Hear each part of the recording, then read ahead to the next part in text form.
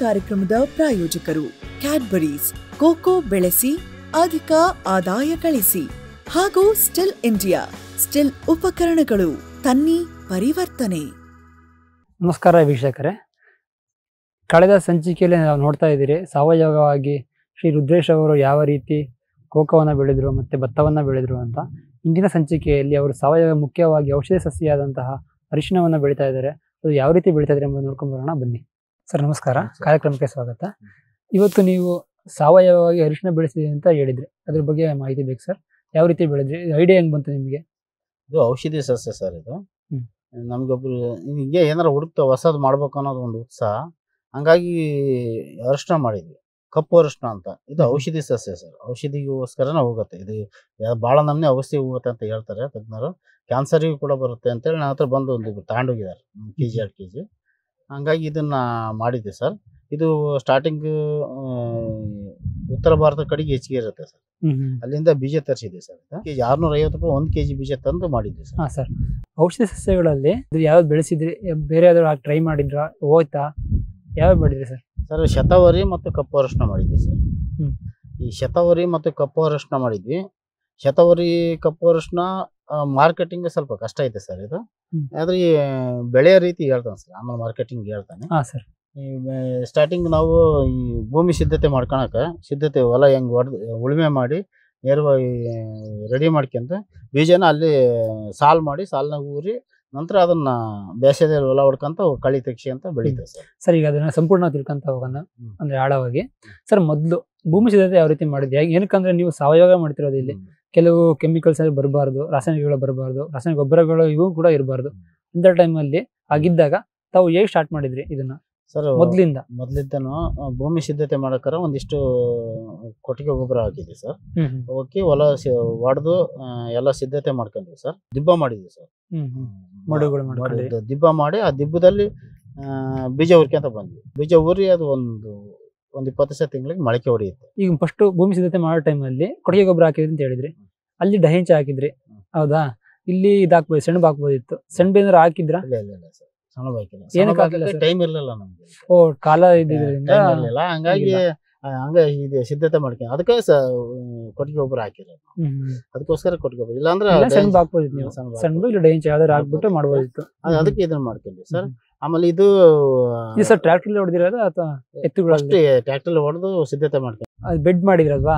Bed ಬದು ಮಾಡ್ಬೇಕಾದ್ರೆ bed ಮಾಡ್ಬೇಕಾದ್ರೆ ಆ ಬೆಡ್ ಇಂದ ಹೈಟ್ ಎಷ್ಟಿರ್ಬೇಕು ಅಗಲ ಎಷ್ಟಿರ್ಬೇಕು ಉದ್ದ ಎಷ್ಟಿರ್ಬೇಕು ಆ ತರ ರಿಕ್ವೈರ್ಮೆಂಟ್ ಒಂದ್ ಅಡಿ- ಅಗಲ ಇರ್ಬೇಕು. ಹೈಟ್ ಒಂದ್ ಅರ್ಧ ಅಡಿ ಹೈಟ್ ಅರ್ಧ ಅಡಿ ಹೈಟ್ ಇದೆ ಸಾಕು. ಅರ್ಧ ಅಡಿ ಹೈಟ್ ಉದ್ದ? ಉದ್ದ ಹಿಂಗ್ ಮೂರಡಿ ಇರುತ್ತೆ ಸರ್ ಸಾಲಿಂದ ಸಾಲಿಗೆ. ಅಲ್ಲ, ಬೆಡ್ಡಿಂದ ಬೆಡ್ ಇಂದ ಉದ್ದ ಎಷ್ಟಿರುತ್ತೆ? ಉದ್ದ ಅಂದ್ರೆ ಹೊಲ ಎಷ್ಟಿದೆ ಅಷ್ಟು ಅಷ್ಟು. ಮಾಡ್ಕೋಬಹುದು ಅಷ್ಟು ಮಧ್ಯ ಬ್ರೇಕ್ ಕೊಡೋ ಇದಿರಲ್ಲ. ಅಂದ್ರೆ ಶುಂಠಿ ಮಿಡಿಗಳು ಮಾಡಿರ್ತಾರಲ್ಲ ಮೊದ್ಲು ಈ ಭಾಗದಲ್ಲಿ ಯಾರು ಮಾಡಿದಾರ ಈ ತರ? ಇಲ್ಲ ಸರ್ ಈ ಭಾಗದಲ್ಲಿ ಯಾರು ಇಲ್ಲ ಸರ್ ನಾವೇ ಮೊದಲು ಮಾಡಿದ್ವಿ ಈ ವಿಷಯನ ಯೂಟ್ಯೂಬ್ ಅಲ್ಲೇ ನೋಡಿದ್ವಿ ಸರ್. ಯೂಟ್ಯೂಬ್ ಅಲ್ಲಿ ನೋಡಿ ಮಾಡಿದ್ವಿ ನಾವು. ಆಮೇಲೆ ಇಲ್ಲೊಬ್ಬನು ಕೃಷ್ಣ ಅಂತ ಬಂದು ನೋಡಿದ್ವಿ. ಅವ್ರು ಬಂದು ಬೀಜ ತಂದು ಕೊಟ್ರು ಸರ್ ಮಾಡ್ತೀರ ಮಾಡ್ತೀರಾ ಅಂತ. ಶತಾವರಿ ಮತ್ತೆ ಕಪ್ಪು ವರ್ಷ ಎರಡು ಮಾಡಿದ್ವಿ ಸರ್ ಶತಾವರಿ ಶತಾವರಿ ಕಪ್ಪು ಅರಿಶಿನ ಹಳದಿ ಅರಿಶಿನ ಮತ್ತೆ ಭತ್ತ ಎಲ್ಲದೂ ಕೂಡ ಸಾವಯವನೇ ಹ್ಮ್, ಹ್ಮ್. ಯಾವುದನ್ನು ಕೆಮಿಕಲ್ ಸೊ ಅದೇ ಬೀಜ ಬಗ್ಗೆ ಹೇಳ್ತಾ ಇದ್ರಿ. ಹ್ಮ್. ಬೀಜ ಎಲ್ಲಿಂದ ತಂದ್ರಿ? ಇದು ಉತ್ತರ ಭಾರತದ ತರ್ಸ್ಕೊಟ್ರಿ ಸರ್ ನಾವು. ತರ್ಸ್ಕೊಟ್ರಾ? ತರ್ಸ್ಕೊಟ್ರು. ಅವ್ನ ಕಂಪ್ನಿಯವ್ರು ತರ್ಸ್ಕೊಟ್ರು ಅವರೇ ತಗೊಂತವೆಂದು ತರ್ಸ್ಕೊಟ್ರು ಸರ್. ಆದ್ರೆ ಒಂದ್ ಸ್ವಲ್ಪ ತಗೊಳೋದು ವ್ಯತ್ಯಾಸ ಆಯ್ತು. ಬೀಜಕ್ಕೆ ಏನಾದ್ರು ಟ್ರೀಟ್ಮೆಂಟ್ ಏನಾರ ಇರುತ್ತೆ ಇದಕ್ಕೆ? ಸರ್ ನಮ್ಮ ಕೆಮ್ಮಿ- ನಮ್ ನಾನು ಜೀವಾಮೃತದಾಗ ಎದ್ದೆದ್ದಿ ಅದೇ. ಹಾಕಿದ್ದೆ. ನಾನು ನನ್ನ ನನ್ನ ಮೆಥಡಲ್ಲಿ ನಾನು ಮಾಡಿದೆ. ಬೇರೆ ಮೆಥಡಲ್ಲಿ ಮಾಡಿಲ್ಲ. ಆ ಮೆಥಡಲ್ಲಿ ಮಾಡಿ ನಾನು ಉಪಯೋಗಿಸಿದ್ದು ಕೂಡ ಇದಕ್ಕೆ ಜೀವಾಮೃತ ಮತ್ತು ಗೋಕರ್ಮೃತ ಆ, ಇದನ್ನೇ ಉಪಯೋಗಿಸಿರೋದು. ಬೇರೆ ಅದೇ ಬೀಜ ಟ್ರೀಟ್ಮೆಂಟ್ ಅಲ್ಲಿ ಸಿ ಟ್ರೀಟ್ಮೆಂಟ್ ಅಲ್ಲಿ ಜೀವಾಮೃತನೇ ಎದ್ಬಿಟ್ಟು ಆಗ್ತಾ ಇದೆ. ಮತ್ತೆ ಸಪ್ರೇಟ್ ಬೀಜಾಮೃತ ಏನು ರೆಡಿ ಮಾಡ್ಕೊಂಡು ಇದಕ್ಕೆ ಅಂತಾನೆ. ಅದೇ ಜೀವಾಮೃತನೇ ಅದಕ್ಕೆ ಎದ್ದೆದ್ದು ಹಾಕ್ಬಿಟ್ರೆ ಅದೇ ಅಷ್ಟೇ. ಅಷ್ಟೇ ಅದು. ಸರ್ ಇದು ಹಾಕ್ತಿದ್ರಲ್ಲ ಅಂದ್ರೆ ಬೀಜದಿಂದ ಬೀಜಕ್ಕೆ ಎಷ್ಟು ಅಂತರ ಹಾಕಿ ಹಾಕಿದ್ರಿ? ಆರು ಇಂಚ್ ಹತ್ರ ಆರು ಇಂಚು. ಸರ್ ಮತ್ತೆ ಇದಕ್ಕೆ ಹಾಕ್ಬೇಕಾದ್ರೆ ಯಾವುದೇ ರೀತಿ ಗೊಬ್ಬರ ಕೊಟ್ಟಿಗೆ ಗೊಬ್ಬರ ಒಂದ್ಸರಿ ಕೊಟ್ಟಿದ್ರಿ ಆಲ್ರೆಡಿ ಮತ್ತೆ ಡೈಂಚ ಸೊಪ್ಪು ಯಾವ್ದು ಹಾಕಿಲ್ಲ ಅಂತ ಹೇಳಿದ್ರಿ. ಮತ್ತೆ ಇದು ಡ್ರಿಂಚಿಂಗ್ ಇದು ಎಲ್ಲ ಹೊಲ. ಹೊಡೆಯೋದು ಇದು ಎಲ್ಲ ಹೊಲ ಹೊಡೆಯೋದು ಎಲ್ಲ ಆದಿಂದೆ ಹುಲ್ಲು ಮಲ್ಚಿಂಗ್ ಮಾಡಿದ್ವಿ ಸರ್ ಹುಲ್ಲು ಪೂರ್ತಿ ಹೊಲ ಪೂರ್ತಿ ಒಣ ಹುಲ್ಲು ಮಲ್ಚಿಂಗ್ ಮಾಡಿದ್ವಿ ಸರ್. ಮಲ್ಚಿಂಗ್ ಮಾಡಿ ಕಬ್ಬಿಟ್ಟಿದ್ವಿ ಮಲ್ಚಿಂಗ್ ಯಾಕೆ ಮಾಡಿದ್ರಿ ಸರ್? ಹುಲ್ಲು ಆಗದಂಗಿರ್ಲಿ ಆಮೇಲೆ ಎರವಳು ಹೆಚ್ಚಿಗೆ ಹಾಕೋದು ಸರ್ ಮಲ್ಚಿಂಗ್ ಮಾಡಿದ್ರೆ. ಎರವಳು ಜಾಸ್ತಿ ಆಗಿದೆ ಆ ಉದ್ದೇಶಕ್ಕೆ ಮಲ್ಚಿಂಗ್ ಮಾಡಿದ್ವಿ. ಮಲ್ಚಿಂಗ್ ಮಾಡಿದ್ರಿ. ಸರ್ ಇದು ಹೇಳ್ತಾ ಇದ್ರಿ ಬೀಜ ಹಾಕೋದು ಅಂತ. ಬೀಜ ಹಾಕ್ಬೇಕಾದ್ರೆ ಮುಖ್ಯವಾಗಿ ಬೀಜದಲ್ಲಿ ಏನಾದ್ರು ಗಮನಿಸಬೇಕಾದ ಅಂಶಗಳು ಇದಾವ? ಅಂದ್ರೆ ಈ ತರನೇ ಮೊಳಕೆ ಮೊಳಕೆ ಯಾವ ಮಕ್ಕ ಬರುತ್ತಾ ಅದನ್ನ ಮ್ಯಾಲ್ ಮಾಡಾಕ್ಬೇಕು ಅದು ಗಮನಿಸ್ಬೇಕು ಒಂದ್ ಬೀಜಕ್ಕೆ ಎಷ್ಟು ಮೊಳಕೆ ಇರ್ಬೇಕು ಸರ್? ಒಂದು ಎರಡು ಮೂರು ಇರುತ್ತೆ ಸರ್. ನೀವ್ ಹಾಕಿದ ಎಷ್ಟಿತ್ತು? ಎರಡು ಮೂರು ಇರುತ್ತೆ ಸರ್. ಎರಡು ಒಂದ್ರಲ್ಲಿ ಎರಡು ಒಂದ್ರಲ್ಲಿ ಮೂರು ಆ ತರ. ಸರ್ ಮತ್ತೆ ಅದು ಹೇಳ್ತಾ ಇದ್ರಿ ಮಲ್ಚಿ ಮಾಡ್ತಿದ್ವಿ ಅಂತ. ಮಲ್ಚಿಂಗ್ ಮಾಡ್ಬೇಕಾದ್ರೆ ಯಾವ್ಯಾವ ಮೆಟೀರಿಯಲ್ ಯೂಸ್ ಮಾಡಿದ್ರಿ ಮಲ್ಚಿಂಗ್ ಅಂತ? ಮಲ್ಚಿಂಗಿಗೆ ಈ ಹುಲ್ಲ ಸರ್ ಒಣ ಹುಲ್ಲು ಆಮೇಲೆ? ಕಬ್ಬಿನ ರವದೆ ಸಾಲದ ಕಬ್ಬಿನ ರವದೆ. ಕಬ್ಬಿನ ರವದೆ ನಿಮ್ಮಲ್ಲಿ ಸಿಗುತ್ತಾ ಅದ್ರ ರೌದೆ ಎಲ್ಲ? ಸಿಗುತ್ತೆ ಸಿಗುತ್ತೆ. ಅದನ್ನ ಯೂಸ್ ಮಾಡಿದ್ರಿ. ಹಾ, ಅದೇ. ಈಗ ನೀವು ತೋಟ ಮಾಡಿದೀರಾ ತೋಟದಲ್ಲಿ ಕೋಕೋ ಎಲೆಗಳೆಲ್ಲ ಸಿಗುತ್ತೆ ಅದನ್ನ ಯೂಸ್ ಮಾಡ್ಬೋದಾ? ಮಾಡ್ಬೋದು ಸರ್ ಅಲ್ಲಿ ಅದಕ್ಕೆ ಅದಕ್ಕೆ ಸಿಗುತ್ತೆ. ಹಂಗಾಗಿ ಇಲ್ಲಿ ಸುಡ್ತಾರೆ ಸರ್ ರೌದಿ ಕಬ್ಬಿನ ರೌದಿನ. ಓ ಇಲ್ಲಿ ಹೊರಗಡೆ ವೇಸ್ಟ್ ಇದೆ ಹುಲ್ಲು ಬಹಳ ಭಾಳ ಸಿಗುತ್ತೆ ಸರ್ ನೀರ ಇದಿರೋದ್ರಿಂದ ನೀವು ನೀರಾವರಿ ಇರೋದ್ರಿಂದ ಒಣಹುಲ್ ಬೇಕಾದಷ್ಟು ಸಿಗುತ್ತೆ. ಹಂಗಾಗಿ ಅದನ್ನ ಮಾಡಿ. ನೆಕ್ಸ್ಟ್ ಹಾಕ ಆದ್ಮೇಲೆ ಆದ ನಂತರ ಕಳೆಗಳು ಸ್ಟಾರ್ಟ್ ಆಗುತ್ತೆ. ಎಷ್ಟು ದಿನದಿಂದ ಕಳೆ ಸ್ಟಾರ್ಟ್ ಮಾಡಿ ತೆಗಿಯಕ್ಕೆ ಸ್ಟಾರ್ಟ್ ಮಾಡಿದ್ರಿ ನೀವು? ಸರ್ ಹಾಕಿ ಒಂದು ತಿಂಗಳಿಂದ ತೆಗಿಸಿದ್ವಿ ತಿಂಗಳು ಒಂದ್ಸರಿ ಕಳೆ ತೆಗೆದ್ವಿ ಒಂದು ಆರು ಆರು ಏಳು ಸರಿ ಕಳೆ ತೆಗೆದ್ವಿ ಏಳು ಸರಿ ತೆಗಿಬೇಕು. ಯಾಕಂದ್ರೆ ಇದು ತುಂಬಾ. ದಿನಗಳಿರುತ್ತೆ ಎಂಟು ತಿಂಗಳು ಆಯ್ತು ಏಳು ಸರಿ ಕಳೆ ತೆಗ್ಸತ್ತಿಗೆ. ಆಮೇಲೆ ಮಲ್ಚಿ ಹುಲ್ಲು ಒಣ ಹುಲ್ಲು ಹಾಕಿ ಮಲ್ಚಿಂಗ್ ಮಾಡಿದ್ವಿ. ಆಮೇಲೆ ಏನು ಮಾಡಲಿಲ್ಲ. ನಾಲ್ಕು ತಿಂಗಳು ಹಂಗೆ ಮಲ್ಚಿಂಗ್ ಮಾಡಿದ್ರೆ ಮುಗಿದು ಮತ್ತೆ ಕಳೆ ಬರಲ್ಲ ಅಂತ. ಯಾವ ಸೀಸನ್ ಅಲ್ಲಿ ಹಾಕ್ಬೇಕು ಇದನ್ನ? ಇದನ್ನ ಮಾರ್ಚ್ ಇದೇ ಸೀಸನ್ ಹಾಕ್ಬೇಕು ಅಂತ ಏನಾದ್ರು ಇದೆಯಾ? ಇಲ್ಲ ಸರ್ ಮಾರ್ಚ್ ಏಪ್ರಿಲ್ ಹಾಕಿದ್ರೆ ಉತ್ತಮ sir. Hmm. March April May June May ಜೂನ್ಗೆ ಒಳಗೆ ಹಾಕಿದ್ರೆ ಒಳ್ಳೇದು ಸರ್. ಜೂನ್ ಒಳಗೆ ಹಾಕಿದ್ರೆ ಮೊಳಕೆ ಬಹಳ ಚೆನ್ನಾಗಿ ಬರುತ್ತೆ. ಮಾರ್ಚ್ ಏಪ್ರಿಲ್ ಅಲ್ಲಿ ಹಾಕ್ಬೇಕು ಅಂತ ಉತ್ತಮ ಅಂತ ಹೇಳಿದ್ರೆ ಹ್ಮ್. ಏನಕ್ಕೆ ಸರ್? ಕ್ವಾಲಿಟಿ ಪರ್ಪಸ್ ಅಲ್ಲ, ಅಲ್ಲ, ಏನಕ್ಕೆ? ಅಲ್ಲ. ಬಿ- ಬಿಸಿಲು ವಾತಾವರಣ ಇರೋದ್ರಿಂದ ಮೊಳಕೆ ಚೆನ್ನಾಗಿ ಬರುತ್ತೆ. ಚೆನ್ನಾಗಿ ಬರುತ್ತೆ. ಲೇಟ್ ಆಗಿ ಹಾಕಿದ್ರೆ ಜೂನ್ ಜುಲೈಯಲ್ಲಿ ಮಳೆ ಕೊಳತೋಗುತ್ತೆ ಕೊಳ್ತೋಗುತ್ತೆ ಒಂದು ಮತ್ತೆ ಬಿಸಿಲು ಅಷ್ಟಕ್ಕಷ್ಟು ಇರಲ್ಲ. ಮೊಳಕೆ ಬರಲ್ಲ ಕಡಿಮೆ. ಹಾ, ಹಾ. ನೀವ್ ಹೇಳ್ತಾ ಇದ್ರಿ ಸಸಿ ಬೀಜ ಹಾಕಿದ್ವಿ ಅಂತ. ಬೀಜ ಹಾಕಿದ್ಮೇಲೆ ಮೇಲೆ ಎಷ್ಟು ದಿನಕ್ಕೆ ಮೊಳಕೆ ಬಂದು ಗಿಡ ಬರೋ ಸ್ಟಾರ್ಟ್ ಆಗುತ್ತೆ? ಒಂದು ಇಪ್ಪತ್ತು ದಿವಸದೊಳಗೆ ಬರುತ್ತೆ. ಇಪ್ಪತ್ತು ಕಾಣುತ್ತೆ. ಮಳೆ ಮೊಳಕೆ ಸಣ್ಣ ಸಣ್ಣ ಕಾಣುತ್ತೆ. ತಿಂಗಳಿಗೆ ಕಾಣುತ್ತೆ. ಮಲ್ಚಿ ಮಾಡಿ ತೆಗಿಬೇಕು ಆ ಟೈಮಲ್ಲಿ ಅಥವಾ ಇಲ್ಲ ಅದು ಕೊಳತೋಗುತ್ತೆ ಹುಲ್ಲು ತಂತನ ನಾವು ಕೊಳ್ತೋಗುತ್ತೆ ನಾವು ಹಾಕಿರೋದು ಮಲ್ಚಿಂಗ್ ಕೊಳತು ಹೋಗುತ್ತೆ.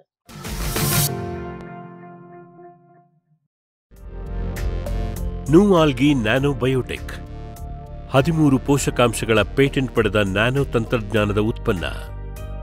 ಭೂಮಿ ಮತ್ತು ಗೊಬ್ಬರಕ್ಕೆ ಸಿಂಪಡಿಸಲು ನೂವಾಲ್ಗಿ ಸಾಯಿಲ್. ಎಲೆಗೆ ಸಿಂಪಡಿಸಲು ನೂವಾಲ್ಗಿ ಫೋಲಿಯಾರ್ ಸ್ಪ್ರೇ. ಮೀನು, ಸಿಗಡಿ, ಸಾಕಣೆಯಲ್ಲೂ ಉಪಯುಕ್ತ. ಗಿಡಗಳ ಆಹಾರ ತಯಾರಿಕೆ ಹೆಚ್ಚಿ ಅದ್ಭುತ ಇಳುವರಿ ಸಾಧ್ಯ. ನೂವಾಲ್ಗಿ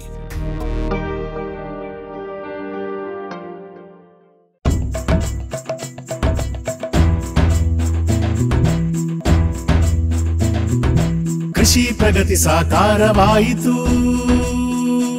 ಸ್ಟಿಲ್ ತಂತ್ರಜ್ಞಾನದಿ ಸಾಧ್ಯವಾಯಿತು. ಬದಲಾವಣೆಗೆ ಕಾಲ ಕೂಡಿ ಬಂತು. ಸ್ಟಿಲ್ ಉಪಕರಣಗಳು, ತನ್ನಿ ಪರಿವರ್ತನೆ.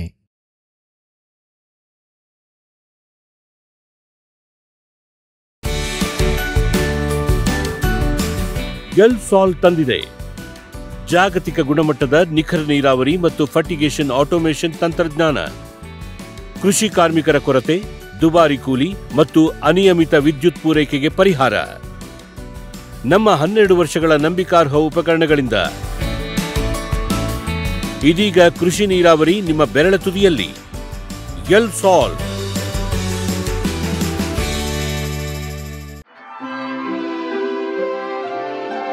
For the first time you kissed. For the first time you stood up.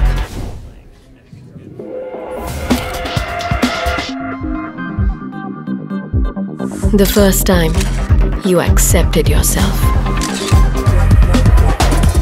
For your every first in life, Camco Chocolates.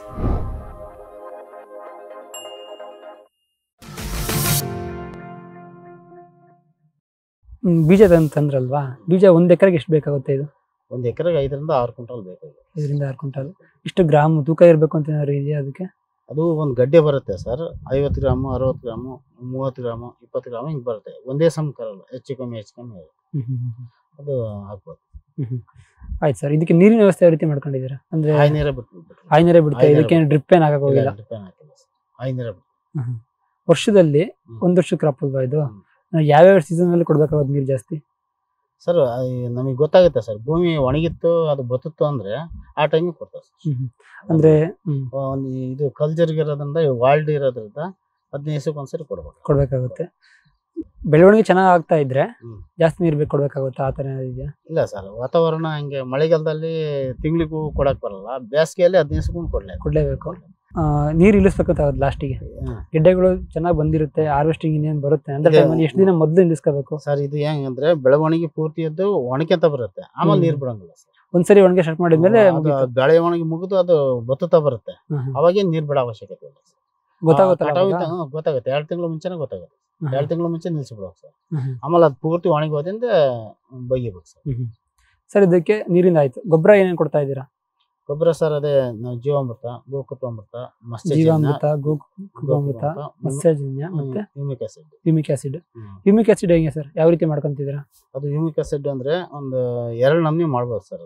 ಒಂದು ನಮ್ದು ಹುಲ್ಲು ಇರುತ್ತೆ ಹಸಿ ಹುಲ್ಲು. ಹಸಿ ಹುಲ್ಲು ಹಸಿ ಹುಲ್ಲು ಸಣ್ಣ ಕೊಯ್ದು ಒಂದು ಡ್ರಮ್ಮಿಗೆ ತುಂಬಿ ಅದಕ್ಕೆ ಒಂದು ಮೂವತ್ತು ಕೆಜಿ ಸಗಣಿ ಮೂವತ್ತು ಕೆಜಿ ಗಂಜಲ ಹಾಕಿ ಟೈಟ್ ಮಾಡಿ ಕಳ್ಬಿಡೋ ಸರ್. ಅದನ್ನ ಒಂದು ತಿಂಗಳು ಒಂದು ಇಪ್ಪತ್ತು ಸಾವಿರ ಒಂದು ತಿಂಗಳ ತನಕ ಬಿಟ್ಟು ಓಪನ್ ಮಾಡಿದ್ರೆ ಅಲ್ಲಿ ಫಸ್ಟ್ ಒಂದು ನೆಲ್ಲೆ ಮಾಡ್ಕೋಬೇಕು ಸರ್ ಅದಕ್ಕೆ. ಓಪನ್. ಮಾಡಿದ್ರೆ ಅದು ರಸ ಬರುತ್ತೆ ಸರ್ ಅದು ಅದನ್ನ ಸ್ಪ್ರೇ ಮಾಡ್ಬೋದು. ಅದು ಒಂದು ಆಸಿಡ್ ಇನ್ನೊಂದು ಇದು ಜಿಂಕು ಬೋರ್ನ ಟ್ರಾಕ್ಟರ್ ಮೂರನೇ ಎರಡು ಎರಡು ಕೆ ಜಿ ಹಾಕಿ ಮೂವತ್ತು ಕೆ ಜಿ ಸಗಣಿ ಮೂವತ್ತು ಕೆ ಜಿ ಗಂಜಲ ಹಾಕಿ ಅದು ಒಂದು ಮಾಡ್ಕೋಬೇಕು ಸರ್ ಅದನ್ನು ಇಪ್ಪತ್ತು ದಿವಸ ಮುಚ್ಚಿಟ್ಟು ಇಪ್ಪತ್ತು ದಿವಸ ನಂತರ ಉಪಯೋಗಿಸ್ಬೋದು ಸರ್. ನೀವು ಎರಡರಲ್ಲಿ ಯಾವ್ದು ಕೊಡ್ತಾ ಇದ್ದೀರಾ ಅದಕ್ಕೆ? ಎರಡು ಮಾಡಿದ್ದೇನೆ ಸರ್ ಎರಡು ಎರಡು ಒಟ್ಟಿಗೆ ಕೊಡ್ಬೋದು? ಬೇರೆ ಬೇರೆ ಬೇರೆ ಕೊಡ್ಬೋದು ಸರ್ ಒಟ್ಟಿಗೆ ಕೊಡ್ಬೋದು. ಅದು ಜೀವಾಣು ಜಾಸ್ತಿ ಆಗಿದೆ. ಜಾಸ್ತಿ ಇರುತ್ತೆ. ಒಂದು ಜೀವಾಣುದೇ ಆಯ್ತು. ಇನ್ನೊಂದು ಜೀವಗಳಿಂದ ಬಂದಿರೋದಾಯ್ತು ಹುಲ್ಲಿಂದ ಆದ್ರೆ ಇನ್ನು ಸ್ಪ್ರೇ ಕೊಡ್ಬೇಕಾದ್ರೆ ಏನಾದ್ರು ಕಸ ಕಟ್ಟದ ಆತರ ಏನಾದ್ರು ಆಗಿದೆಯಾ? ಸೋಸಿಗೆ ಕೊಟ್ಟು ಫಸ್ಟ್ ಸೋಸಿಗೆ ಸೋಸ್ಕೊಳ್ಳೇಬೇಕು. ಸೋಸ್ಕೊಳ್ಳಿದ್ರೆ ಬರೋದಿಲ್ಲ. ಕ್ಲೀನ ಸೋಸ್ಕೊಂಡೆ ಡ್ರೆಂಚಿಂಗ್ ಏನಾದ್ರು ಕೂಡ? ಡ್ರಂಚಿಂಗ್ ಮಾಡ್ತೀವಿ ಮಾಡ್ತೀರಾ? ಡ್ರಂಚಿಂಗ್ ಮಾಡ್ತೀವಿ. ಇದಕ್ಕೆ ಡ್ರಂಚಿಂಗ್ ಮಾಡ್ತಾರೆ ಸರ್. ಇದಕ್ಕೆ ಸ್ಪ್ರೇ ಹೆಚ್ಚಿಗೆ ಮಾಡಲ್ಲ ಎಷ್ಟು ಬಕೆಟ್ನ ಹಾಕ್ಯಂಡು ಹಿಂಗೆ ಹಾಕ್ಯಂತ ಹೋಗ್ಬಿಡ್ತಾರೆ ಎಷ್ಟು ದಿನ ಅಂತರಲ್ಲಿ ಕೊಡ್ಬೇಕಾಗುತ್ತೆ ಅದನ್ನ? ತಿಂಗಳು ಒಂದ್ಸರಿ. ತಿಂಗಳ ಒಂದೊಂದ್ಸರಿ. ತಿಂಗಳ ಒಂದೊಂದು ಅಷ್ಟು ಸೇ ಒಷ್ಟು ಮಿಕ್ಸ್ ಮಾಡ್ಕೊಂಡು ಕೊಟ್ಬಿಡ್ಬೇಕು. ಯಾವ್ಯಾವ ಮಿಕ್ಸ್ ಮಾಡ್ತೀರಾ ಸರ್ ಯಾವ ಟೈಮಲ್ಲಿ ಕೊಡ್ತೀರಾ? ಎಷ್ಟು ಲೀಟ್ರ್ ಬೇಕಾಗುತ್ತೆ? Sir acre? ಒಂದು ಎಕರೆಗೆ ಒಂದು ನೂರು ಲೀಟ್ರ್ ಬೇಕಾಗುತ್ತೆ ಸರ್ ಎಲ್ಲ ಸೇರಿ. ಎಲ್ಲ ಸೇರ್ಬಿಟ್ಟು ಎಲ್ಲ ಸೇರಿ. ಸ್ವಲ್ಪ ಜಾಸ್ತಿನೇ ಹಾಕಿದ್ರೆ ನಡೆಯುತ್ತೆ. ಏನು ನೀವು ತೊಂದರೆ ಏನಲ್ಲ ಜಾಸ್ತಿ ಹಾಕಿದ್ರೆ ಅದಕ್ಕೆ ನೀರು ಹಾಕಿ ಮಿಕ್ಸ್ ಮಾಡ್ಕೊಂಡು ಹಾಕ್ತೀವಿ ಈಗ ಡೈರೆಕ್ಟ್ ಮಾಡಲ್ಲ.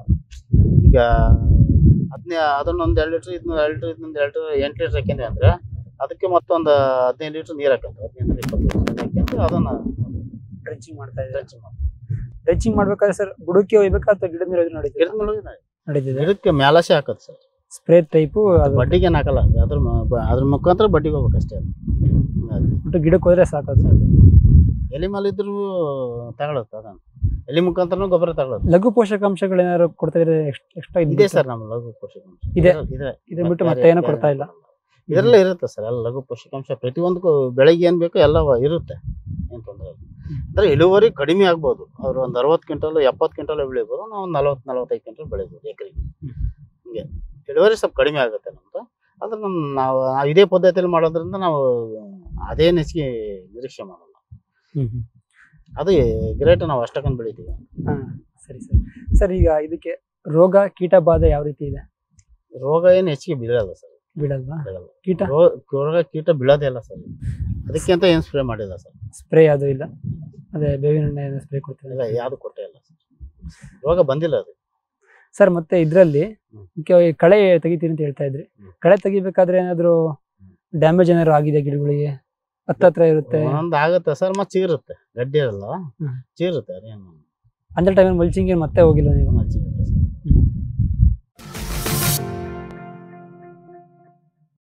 ಕ್ಯಾಡ್ಬರೀಸ್ ಕ್ಯಾಡ್ಬರೀಸ್ ಚಾಕ್ಲೇಟ್ನ ಸುಮಧುರ ರುಚಿ ನಿಮ್ಮ ಕೋಕೋ ಬೀಜದಿಂದ. ಸುಲಭದ ಬೆಳೆ ಕೋಕೋ, ನಿಮಗೆ ಆಕರ್ಷಕ ಹೆಚ್ಚುವರಿ ಆದಾಯ ತರಬಲ್ಲದು. ಮಾರ್ಗದರ್ಶನ ಮಾಡಿ ಬೀಜ ಖರೀದಿಸಲು ಇದೀಗ ಕ್ಯಾಡ್ಬರಿ ಸಿದ್ಧ. ಸುಲಭ ದರದಲ್ಲಿ ಉತ್ತಮ ತಳಿಗಿಡ, ಉಚಿತ ಸಲಹಾ ಸೇವೆ, ಕ್ಷೇತ್ರ ಭೇಟಿ. ಸಂಪರ್ಕಿಸಿ. ಒಂಬತ್ತು ಎಂಟು ಆರು ಆರು ಎಂಟು ಮೂರು ಆರು ಐದು ಸೊನ್ನೆ ಐದು.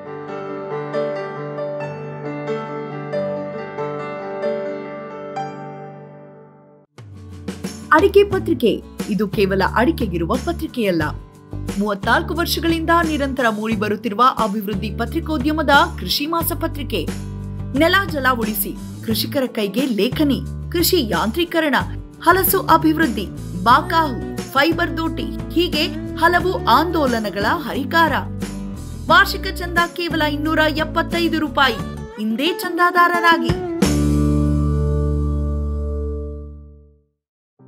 ಗ್ರೀನ್ ಪ್ಲಾಸ್ಟ್ ಐಎಸ್ಐ ಪ್ರಮಾಣೀಕೃತ ಪರಿಶುದ್ಧ ಎಚ್ಡಿಪಿಇ ಜಿಯೋ ಮೆಂಬ್ರೇನ್ ಪಾಂಡ್ಲೈನರ್ಗಳು ಕೃಷಿ ಹೊಂಡ, ಕೆರೆ, ಕಾಲುವೆ, ಮೀನುಕೊಳ, ಸ್ಪಿರುಲಿನಾ ಹೊಂಡಗಳಿಗೆ ಬೇಕಾದ ಆಕಾರ ಮತ್ತು ವಿಸ್ತೀರ್ಣಗಳಲ್ಲಿ ಸರ್ಕಾರದ ಸಬ್ಸಿಡಿ ಯೋಜನೆಯಡಿ ಲಭ್ಯ. ನೂರು ಪರ್ಸೆಂಟ್ ಪುನರ್ಬಳಕೆ ಯುವಿ ಮತ್ತು ಒಡಕು ನಿರೋಧಕ, ಪಕ್ಕಾ ಜೋಡಣೆ, ಐದು ವರ್ಷಗಳ ಲಿಖಿತ warranty, Green Plast Future Biotech, ಸಾವಯವ ಕೃಷಿಯ ವೇಗವರ್ಧಕ. ಪೋಷಕಾಂಶ ಪೂರೈಕೆಗೆ ಎನ್ಪಿಕೆ ಕಲ್ಚರ್, ವ್ಯಾಮ್ ಪಿಎಸ್ಪಿ ಮತ್ತು ಕೆಎಂಬಿ ಜೈವಿಕ ರೋಗ ಕೀಟ ನಿಯಂತ್ರಣಕ್ಕೆ ಟ್ರೈಕೋಡರ್ಮಾ ಸೋಡೋಮನಾಸ್. ಸಾವಯವ ಗೊಬ್ಬರ ಉತ್ಪಾದನೆಗೆ ಕಾಂಪೋಸ್ಟ್ ಕಲ್ಚರ್. ಹೂವು, ಕಾಯಿ ಉದುರುವ ಸಮಸ್ಯೆಗೆ ಕಾಮಧೇನು ಮತ್ತು ಸತ್ವ. ಮಣ್ಣಿನ ಆರೋಗ್ಯ ವೃದ್ಧಿಗೆ ಫ್ಯೂಚರ್ ಬಯೋಟೆಕ್ ಧಾರವಾಡ.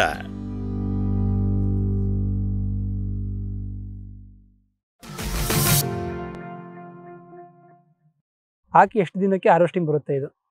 ಕೆಲವರು ವರ್ಷ. ಹತ್ತು ಈಗ ಹತ್ತು ತಿಂಗಳಿಗೆ ಒಣಗ್ ಶುರು ಮಾಡುತ್ತೆ. ಹನ್ನೊಂದು ತಿಂಗಳಿಗೆ ಕೇಳ್ಬೋದಲ್ಲ ಹನ್ನೆರಡು ತಿಂಗಳಿಗೆ ಕೇಳ್ಬೋದು. ಒಂದು ತಿಂಗಳು ಹೆಚ್ಚು ಕಮ್ಮಿ ಕೇಳ್ಬೋದು ಸರ್. ಹನ್ನೊಂದು ತಿಂಗಳಿಗೆ ಕಟಾವ್ ಬಂದಿರುತ್ತೆ. ಏನು ಭೂಮಿಯಲ್ಲಿ ಬಿಟ್ಟು ಕೀಳ್ಬೋದು ಸರ್. ಒಂದು ತಿಂಗಳು ಹೆಚ್ಚು ಕಮ್ಮಿ ಕೇಳ್ಬೋದು. ಕೀಳ್ಬೋದು. ನೀವು ಎಷ್ಟು ತಿಂಗಳು ಕೀಳ್ತಾ ಇದ್ದೀರಿ? ನಾವು ಹನ್ನೆರಡು ಹನ್ನೆರಡುವರೆ ತಿಂಗಳಿಗೆ ಕೀಳ್ತಿದ್ದೀವಿ ಮತ್ತೆ ಸರ್ ಇದರಲ್ಲಿ ಕೀಳ್ತೀರಲ್ವಾ? ಕೀಳಕ್ಕಿಂತ ಮೊದಲು ಹೇಳಿದ್ರಿ. ನೀರು ನಿಲ್ಲಿಸ್ಬೇಕಾಗುತ್ತೆ ಅಂತ. ಎಷ್ಟು ತಿಂಗಳು ಮೊದಲು ನಿಲ್ಲಿಸ್ಬೇಕು? ಎರಡು ತಿಂಗಳು ಮುಂಚೆ ನಿಲ್ಲಿಸ್ಬೇಕು. ನಿಲ್ಲಿಸ್ತೇ ಹೋದ್ರೆ ಏನಾಗುತ್ತೆ? ನೀರು ನೀರು ಬಿಟ್ಕೊಂತ ಇದ್ರೆ ಮತ್ತೆ ಮಳೆ ಹೊಡೆದ್ಬಿಡುತ್ತೆ ಅಲ್ಲೇ. ಮತ್ತೆ ಚಿಗುರುತ್ತೆ ಮಚ್ಚಿಗಿರುತ್ತೆ ಅದಕ್ಕೆ ನೀರು ನಿಲ್ಲಿಸಿ ಕಿತ್ತು ಬಿಡ್ಬೋದು ಸರ್. ಕಿತ್ತು ಮಾರಾಟ ಮಾಡಬೇಕು ಒಂದು ಎಕರೆಗೆ ಎಷ್ಟು ಬರುತ್ತೆ ಸರ್ ಇಳುವರಿ ಇದ್ರದ್ದು? ಇದು ನನ್ನ ಪ್ರಕಾರ ನಾ ಬೆಳೆದ್ರ ಪ್ರಕಾರ ನಲ್ವತ್ತು ಕ್ವಿಂಟಲ್ ನಲ್ವತ್ತೈದು ಕ್ವಿಂಟಲ್. ನಮ್ದು ಸಾವಯವ ಪದ್ಧತಿಯಲ್ಲಿ ಬೇರೆ ಜಾಸ್ತಿ ಬೆಳೆದಿರ್ಬೋದು. ಜಾಸ್ತಿ ಬೆಳೆದಿರ್ಬೋದು. ನೀವು ರಾಸಾಯನಿಕವಾಗಿ ಬೆಳೆದಿರೋದು ಏನಾದ್ರು ನೋಡಿದೀರಾ ಅರಿಶಿನ ಬೆಳೆದಿದ್ದಾರೆ ಸರ್ ಜಾಸ್ತಿ ಅವರು. ಎಪ್ಪತ್ತು ಕ್ವಿಂಟಲ್ ಬೆಳೆದ್ರು ಸರ್ ಇವಾಗ ಸ್ವಲ್ಪ ಕಂಪೇರ್ ಕೊಟ್ಬಿಡಿ ನಮಗೆ. ಹ್ಮ್. ಸಾವಯವವಾಗಿ ಅರಿಶಿನ ಬೆಳೆದ್ರೆ ಏನು ಸಮಸ್ಯೆ ಬರುತ್ತೆ? ಮತ್ತೆ ರಾಸಾಯನಿಕವಾಗಿ ಬರೋದ್ರೆ ಏನು ಸಮಸ್ಯೆ ಬರುತ್ತೆ? ಅದಕ್ಕೆ ಪರಿಹಾರಗಳು ಯಾವ ರೀತಿ ಇರುತ್ತೆ ಹೇಳಿ ಸರ್ ಇದು ಔಷಧಿ ಸಸ್ಯ ಆಗಿರೋದ್ರಿಂದ ಇದನ್ನ ಸಾವಯವ ಬೆಳೆದ್ರೆ ಉತ್ತಮ ಸರ್. ಔಷಧಿಗೆ ಹೋಗೋದ್ರಿಂದ ಇದು. ಸಾವಯವ ಬೆಳೆದ್ರೆ ಉತ್ತಮ ಅಂತ ನನ್ನ ಆ, ಅನಿಸಿಕೆ ಸರ್. ಅದು ನಿಜನೂ ಇರ್ಬೋದು ಸರ್. ಯಾಕಂದ್ರೆ ಕೆಮಿಕಲ್ ಹಾಕಿ ಮತ್ತೆ ಬೆಳೆದ್ರೆ ಮತ್ತೆ ಔಷಧಿ ಮಾಡೋದ್ರಿಂದ. ಏನು ಉಪಯೋಗ. ಅದ್ರಲ್ಲಿ ಅಂದ್ರೆ ಸರ್ ರೋಗ ಬಾಧೆ ಆಗ್ಬೋದು ಅಥವಾ ಇಳುವರಿ ಜನ ಹೇಳಿದ್ರೆ ಕಡಿಮೆ ಬರುತ್ತೆ ಅಂತ ಆ ತರ. ಅದರಲ್ಲಿ ಕೆಮಿಕಲ್ಸ್ ಎಲ್ಲ ಹಾಕಿದಾಗ ಯೂಶಲಿ ರಾಸಾಯನಿಕ ಹಾಕಿದಾಗ ಅಷ್ಟು ಕಮ್ಮಿ ಬರುತ್ತೆ ಅಂತ ರೋಗಗಳು ಮೇಂಟೈನ್ ಚೆನ್ನಾಗಿ ಮಾಡಿರ್ತಾರೆ. ಇಳುವರಿ ಜಾಸ್ತಿ ಬರುತ್ತೆ. ಅದೆಲ್ಲ ಕೇಳಿ ಇಳುವರಿ ಜಾಸ್ತಿ ಬರುತ್ತೆ ಸರ್. ನಮ್ಕನೂ ಜಾಸ್ತಿ ಇರುತ್ತೆ ಸಾಮಾನ್ಯ. ನಮ್ಗೇನು ರೇಟ್ ಇದಕ್ಕೆ ಹೆಚ್ಚಿಗೆ ಕೊಡಲ್ಲ. ಆದ್ರೆ ಇರುತ್ತೆ ಸರ್. ಅಷ್ಟೇ ರೇಟ್ ನಿಮ್ಗೆ ಓಕೆ ಸರ್ ಅಷ್ಟೇ ರೇಟ್ ಇದೆ. ಈ ವಿಚಾರ ಒಂದು ಎಕರೆಗೆ ಎಷ್ಟು ಇಳುವರಿ ಬರ್ತಾ ಇದೆ ಈಗ? ನಮ್ದು ನಾ ಅದೇ ಹೇಳಿದ ನಾ ಹೋದ್ ಸರಿ ನಲವತ್ತು ನಲವತ್ತೆರಡು ಕ್ವಿಂಟಲ್ ಬಂದಿತ್ತು ಫಸ್ಟ್ನೇ ಸರಿ ಹಾಕಿದಾಗ? ಇದೇ ಫಸ್ಟ್ ಸರಿ ಇದೇ first ಇದು ಎರಡನೇ ಸರಿ ಸರ್. ಎರಡನೇ ಸರಿ. ಇದು ಎರಡನೇ ಇದೇನು ತೆಗ್ದಿಲ್ಲ? ತೆಗ್ದಿಲ್ಲ. ಸರ್. ಇದು ಹಾರ್ವೆಸ್ಟಿಂಗ್ ಎಲ್ಲ ಮಾಡಾದ್ಮೇಲೆ ಒಣಗಿಸ್ತೀರಾ ಅಥವಾ ಹೆಂಗೆ ಡೈರೆಕ್ಟ್ ಇದನ್ನ? ಇದು ತಗೊಂಡೋಗ್ತಾರೆ ತಗೊಂಡು ಹೋಗ್ತಾರೆ. ಹಸಿ ತಗೊಂಡೋಗ್ತಾರೆ ಪೌಡ್ರ್ ಮಾಡಿಸಿ ಕೊಡ್ತಾ ಇಲ್ಲ ನೀವು? ವ- ಅದನ್ನು ಮಾಡ್ಬೋದು ಸರ್. ಒಣಗಿಸಿ ಪೌಡ್ರ್ ಮಾಡಿದ್ರೆ ತಗೋತಾರೆ. ಆ, ಅಥವಾ ಒಣಗಿಸಿ ಕೊಟ್ಟರು ತಗೋತಾರೆ. ಈ ಹಸಿದೆ ಕೊಟ್ಟರು ತಗೋತಾರೆ ಸರ್. ಅದೇ ಹೇಳ್ತಾ ಇದ್ರಿ ಮಾರುಕಟ್ಟೆ ಇದು. ಮಾರುಕಟ್ಟೆ ಯಾವ ರೀತಿ ಮಾಡ್ಕೊಂಡಿದ್ದೀರಾ ನೀವು? ಸರ್ ಇದು ಮಾರುಕಟ್ಟೆ ಕಷ್ಟ ಇದೆ. ಹ್ಮ್. ಮಾರುಕಟ್ಟೆ ಈ ಸರಿ ಒಬ್ರಿಗೆ ಕೊಟ್ಟವಿ. ಇನ್ನೂ ಅಷ್ಟು ಸ್ವಲ್ಪ ದುಡ್ಡು ಕೊಡಕ್ಕೆ ಕೊಟ್ಟಿಲ್ಲ. ಹ್ಮ್. ಇದು ಮಾರುಕಟ್ಟೆ ಸ್ವಲ್ಪ ಕಷ್ಟ ಇದೆ. ರೈತರು ಇದನ್ನ ಭಾಳ ಯೋಚನೆ ಮಾಡಿ ಮಾಡ್ಬೇಕು ಸರ್. ಇದನ್ನ ಮಾರ್ಕೆಟ್ ಯಾವ ಕಂಪ್ನಿ ಅಗ್ರಿಮೆಂಟ್ ಮಾಡ್ಕೊಂಡ್ರೆ ಮಾಡ್ಬೇಕು ಇಲ್ಲಾಂದ್ರೆ ಮಾಡಬಾರ್ದು ಸರ್. ಇಲ್ಲಾಂದ್ರೆ ಭಾಳ ಜನ ಬೆಳೆದು ಲಾಸ್ ಮಾಡ್ಕೊಂಡಿರೋರು ಇದಾರೆ ಸರ್. ಹಾಗಾಗಿ ಇದನ್ನ ಮಾಡಕ್ಕಾರ ಭಾಳ ಯೋಚನೆ ಮಾಡಿ ಮಾಡ್ರಿ ಅಂತ ನಾನು ರೈತರಲ್ಲಿ ಕೇಳ್ಕೊಂತೀನಿ ಹೇಳ್ತೀರಾ? ಮಾರುಕಟ್ಟೆ ಇದು. ಮೊದಲು ನೀವು ಹೇಳಿದ್ರಿ ಯಾವ್ದೋ ಕಂಪ್ನಿಯವ್ರು ಬೀಜ ತಂದು ಕೊಟ್ಟಿದ್ರು ತಗೊಂತೀವಿ ಅಂತ ಹೇಳಿದ್ರು ಅವ್ರು ಮತ್ತೆ ಬಿಟ್ರು ಅಂತ. ಅದ್ರ ಬಗ್ಗೆ ನಿಮ್ಮ ಅನುಭವ ಹೇಗಿತ್ತು ಸರ್? ಸರ್ ಇದು ತಗೊಂತೇವೆ ಅಂದು ಬರಲಿಲ್ಲ ಸರ್. ಮತ್ತು ನಾವು ಬೇರೆಯವ್ರಿಗೆ ಕೊಟ್ವಿ. ಬೇರೆಯವ್ರು ತಗೊಂಡ್ರು. ತಗೊಂಡು ಇನ್ನೂ ಸರಿ ದುಡ್ಡು ಕೊಡ್ತಾ ಇಲ್ಲ. ಅದು ಮಾರ್ಕೆಟಿಂಗು ಭಾಳ ಜನ ಇಲ್ಲ ಸರ್ ತಗೊಳೋದ್ರಿಂದ. ಉತ್ತರ ಭಾರತ ಮಾರ್ಕೆಟ್ ಅಂತ ಹೇಳ್ತಾರೆ. ಅದು ಭಾಳ ಕಷ್ಟ ಇದೆ ಸರ್ ಮಾರ್ಕೆಟ್. ಇದನ್ನ ರೈತರು ಮಾಡ್ದಂಗಿರೋದೇ ಒಳ್ಳೇದು ಅಂತ ನನ್ನ ಅನಿಸಿಕೆ. ನೀವು ಅಲ್ಲಿ ಉತ್ತರ ಭಾರತ ಮಾರ್ಕೆಟ್ ಇದೆ ಅಂತ ಹೇಳ್ತೀರಾ. ಅಲ್ಲಿ ಏನು ಟ್ರೈ ಮಾಡಿದ್ರಾ? ಕೊಡ್ಬೋದು ಈ ತರ ಇಲ್ಲ ಇಲ್ಲ ಸರ್ ಅಲ್ಲಿ ದೂರ ಆಗುತ್ತೆ ನಮಗೆ. ಹಂಗಾಗಿ ಅಲ್ಲಿ ಹೋಗಕ್ ಹೋಗಿಲ್ಲ. ಇಲ್ಲೇ ತಗೊಂಡಿದ್ದಾರೆ ಇನ್ನು ನಮ್ಗೆ ಅರ್ಧ ಬರ್ಧ ದುಡ್ಡು ಕೊಟ್ಟಾರೆ ಸರ್. ಇನ್ನು ಕಷ್ಟ ಇದೆ ಸರ್ ಒಟ್ಟು. ಇದನ್ನ ರೈತರು ಮಾಡ್ದಂಗಿರೋದೇ ಒಳ್ಳೇದು ಅಂತ ನನ್ನ ಅನಿಸಿಕೆ ಸರ್. ಅದೇ ನೀವು ಹೇಳ್ತಾ ಇದ್ರಿ ನಾವು ಅರಿಶಿನ ಜೊತೆಯಲ್ಲಿ ಶತವರಿನ ಮಾಡಿದ್ವಿ ಅಂತ. ಅದ್ರಲ್ಲಿ ಏನು ಸಮಸ್ಯೆ ಇತ್ತು ಸರ್?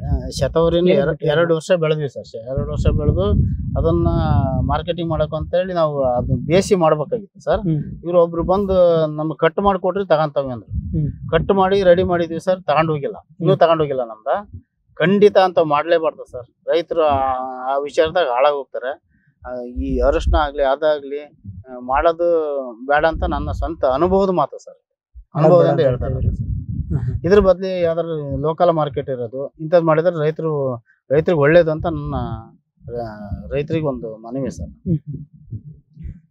ಹಾ ಸರ್ ನೀವು ಹೇಳ್ತಾ ಇದ್ರಿ ಮಾಡೋದ್ ಬೇಡ ಅಂತ. ಮೊದಲನೇ ವರ್ಷ ಹಾಕಿದ್ರಿ ಈ ಮತ್ತೆ ಎರಡನೇ ವರ್ಷ ಇದನ್ನೇ ಹಾಕಿದ್ದಾರೆ ಅಷ್ಟೊಂದು. ಅವರು ತಗೊಂಡೋದ್ರು ಸರ್. ಬಿಡು ಒಂದ್ ತಿಂಗಳ ದುಡ್ಡು ಕೊಡ್ತಾವ ಅಂತ ಹಾಕಿದೆ ಸರ್. ಇಲ್ಲದ್ರೆ ಆಗ್ತಾನೆ ಇರ್ಲಿಲ್ಲ ಇದನ್ನ.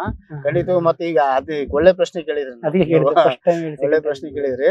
ರೈತರಿಗೆ ಮತ್ತೆ ಮೋಸ ಇದಾಗಬಾರ್ದು. ಈಗ ಇದು ಮಾಡ್ತಾನಲ್ಲ ಗೊತ್ತಿಲ್ಲ ಖಂಡಿತವಾಗಿ ಇದನ್ನ ಮಾಡ್ಬೇಡ್ರಿ ಅಂತ ನಾನು ಮನವಿ ಮಾಡ್ತೀನಿ ಅವ್ರು ಇನ್ನೂ ದುಡ್ಡು ಕೊಟ್ಟಿಲ್ಲಲ್ಲ ಹಂಗಾಗಿ ಬೇಡ ಸರ್. ಲೋಕಲ್ ಮಾರ್ಕೆಟ್ ಇರೋದೇ ಯಾವ್ದಾರು ಮಾಡಿ.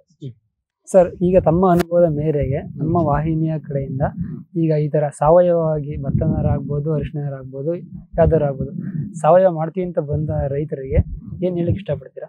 ಸಾವಯವದಲ್ಲಿ ಮಾಡಿ ಸರ್ ಖಂಡಿತ ಮಾಡಿ ಅಳದ ಅರಿಶಿನ ಮಾಡಿ ಶುಂಠಿ ಮಾಡಿ ನಮ್ಮ ಲೋಕಲ್ ಮಾರ್ಕೆಟ್ ಅಲ್ಲಿ ಆಗುತ್ತೆ ಅದನ್ನ ಮಾಡಿ ಸಾವಯವದಲ್ಲಿ ಮಾಡಿದ್ರು ಇಳುವರಿ ತೆಗಿಬೋದು. ಸ್ವಲ್ಪ ತಾಳ್ಮೆಯಿಂದ ಒಂದು ಇದರಿಂದ ಮಾಡಿದ್ರೆ ಖಂಡಿತವಾಗಿ ಯಶಸ್ಸು ಕಾಣ್ಬೋದು ಅಂತ ನಾನು ತಮ್ಮಲ್ಲಿ ತಮ್ಮ ವಾಹಿನಿ ಮುಖಾಂತರ ರೈತರಲ್ಲಿ ಮನವಿ ಮಾಡ್ತೀನಿ ಸರ್ ತಮ್ಮ ಅಮೂಲ್ಯ ಸಮಯವನ್ನು ನಮ್ಮೊಂದಿಗೆ ಕಳೆದುಬಿಟ್ಟು ನಮಗೆ ಸಾವಯವವಾಗಿ ಅರಿಶಿಣಗಳನ್ನು ಯಾವ ರೀತಿ ಬೆಳೆಯೋದು ಅದರಲ್ಲಿ ಬರ್ತಾನೆ ಸಮಸ್ಯೆಗಳು ಮುಖ್ಯವಾಗಿ ಮಾರುಕಟ್ಟೆ ಧಾರಣೆ ಯಾವ ರೀತಿ ಇದೆ ಮಾರುಕಟ್ಟೆಯಲ್ಲಿ ಏನು ಸಮಸ್ಯೆ ಬರುತ್ತೆ ಮಾಡ್ಬೋದಾ ಬೇಡವಾ ಅಂತ ಸಂಪೂರ್ಣವಾಗಿ ಹೇಳಿದ್ದೀರಾ? ನಮ್ಮ ವಾಹಿನಿ ಕಡೆಯಿಂದ ಹಾಗೂ ವೀಕ್ಷಕರ ಕಡೆಯಿಂದ ಧನ್ಯವಾದಗಳು ಸರ್ ನಮಸ್ಕಾರ. ಧನ್ಯವಾದಗಳು. ವೀಕ್ಷಕರೇ ಇಂದಿನ ಸಂಚಿಕೆಯಲ್ಲಿ ಶ್ರೀ ರುದ್ರೇಶ್ ಅವರು ಯಾವ ರೀತಿ ಸಾವಯವವಾಗಿ ಅರಿಶಿಣವನ್ನು ಬೆಳೆದಿದ್ದಾರೆ ಎಂಬುದನ್ನು ನಮಗೆ ಸಂಪೂರ್ಣವಾಗಿ ಮಾಹಿತಿಯನ್ನು ಕೊಟ್ಟಿದ್ದಾರೆ. ಅವರು ಮುಖ್ಯವಾಗಿ ಇನ್ನೊಂದು ಹೇಳ್ತಾ ಇದ್ರು, ಸಾವಯವ ಸಾವಯವ ಅಂತ ಎಲ್ಲದನ್ನು ಸಾವಯವ ಮಾಡೋಕೆ ಹೋಗಬೇಡಿ ಅಂತ. ಏನಕ್ಕೆ ಅಂದರೆ ಮುಖ್ಯವಾಗಿ ಅಲ್ಲಿ ಸಮಸ್ಯೆ ಇರೋದೇ ಮಾರುಕಟ್ಟೆ. ಮಾರುಕಟ್ಟೆ ಅವ್ರು ಹೇಳಿದ್ರು, ಮೊದಲು ಒಂದು ಕಂಪನಿಯವರು ಬಂದು ಅರಿಶಿನ ಬೀಜವನ್ನು ಕೊಟ್ಟು ತಗೊತೀವಿ ಅಂತ ಹೇಳಿದರು. ಆದರೆ ಅವರು ತಗೊಂಡೋಗಲಿಲ್ಲ ಇದನ್ನೆಲ್ಲ ಮನಸ್ಸಲ್ಲಿ ಇಟ್ಟುಕೊಂಡು ಅವ್ರು ಯಾವ ರೀತಿ ಒಂದೇ ಸರಿ ಹೋಗ್ಬಿಡಿ ಸಾವಯವಕ್ಕೆ, ಹಂತ ಹಂತವಾಗಿ ಬನ್ನಿ, ಮೊದಲು ಮಾರುಕಟ್ಟೆ ನೋಡ್ಕೊಳ್ಳಿ, ಆಮೇಲೆ ಬನ್ನಿ ಅಂತ ನಮಗೆ ಸಂಪೂರ್ಣವಾಗಿ ಹೇಳಿದ್ರು. ಮತ್ತು ಮುಖ್ಯವಾಗಿ ಔಷಧಿ ಸಸ್ಯಗಳಂತಹ ಶತಾವರಿಯನ್ನು ಬೆಳೆದು ನೋಡಿದರು. ಅದರಲ್ಲಿ ಅವರ ಅನುಭವವನ್ನು ಹೇಳಿದರು. ಇದುವರೆಗೂ ಇಂದಿನ ಸಂಚಿಕೆ ತಮಗೆ ಉಪಯುಕ್ತವಾಗಿದೆ ಅಂತ ಭಾವಿಸ್ತಾ ನಮ್ಮ ಇಂದಿನ ಕಾರ್ಯಕ್ರಮ ಮುಗಿಸೋಣ. ಧನ್ಯವಾದಗಳು. ಈ ಕಾರ್ಯಕ್ರಮದ ಪ್ರಾಯೋಜಕರು ಕ್ಯಾಡ್ಬರೀಸ್ ಕೋಕೋ ಬೆಳೆಸಿ, ಅಧಿಕ ಆದಾಯ ಗಳಿಸಿ ಹಾಗೂ ಸ್ಟಿಲ್ ಇಂಡಿಯಾ ಸ್ಟಿಲ್ ಉಪಕರಣಗಳು, ತನ್ನಿ ಪರಿವರ್ತನೆ.